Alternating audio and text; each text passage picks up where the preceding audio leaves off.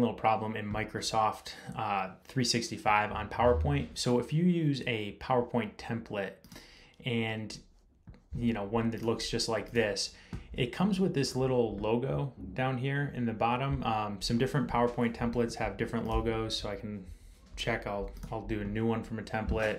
Just do like a business template and I'll pick one.